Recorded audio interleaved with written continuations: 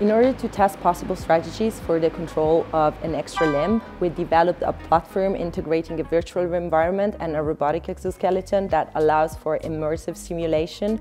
During this simulation, users see an avatar in a first-person perspective, uh, endowed with an extra uh, limb which we designed as symmetrical, so possessing four digits and two thumbs in order to avoid any association with a left or a right arm.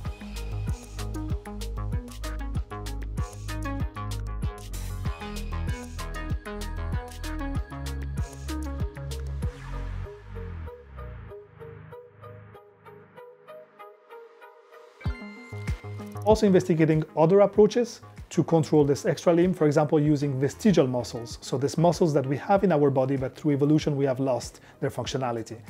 We have found that through a few days of training, people could use these auricular muscles, which are this muscle we have behind the ears, to control this extra limb while still using their natural arms and still speaking and looking around.